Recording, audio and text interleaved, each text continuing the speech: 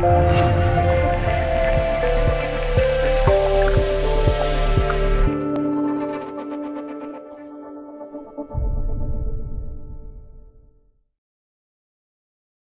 零一八年雅加达亚运会，中国女篮在小组赛中迎来第三个对手蒙古队。由于实力悬殊，半场结束时内线优势明显的中国队已经掌握三十三分领先优势。下半场，女篮姑娘们稳扎稳打，最终以一百一十比三十六大胜蒙古队，三连胜的同时也提前一轮锁定小组第一。而七十四分的大胜。也让现场观战的中国篮协主席姚明面挂笑容。姚明现场观战，结果无意中成为了全场最大的焦点。在现场的观众发现姚明后，几乎都把相机对准了他，尤其是离他不远的韩国球迷，更是用惊愕的表情望着姚明。估计第一次看到真实的大姚，才发现原来他真的好高好高啊！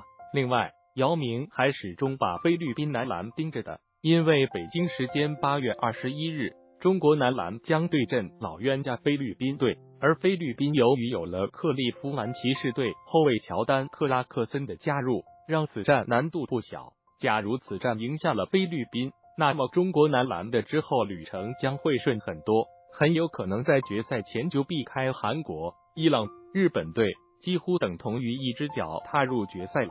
而如果败给菲律宾，那么赛程就非常艰难了。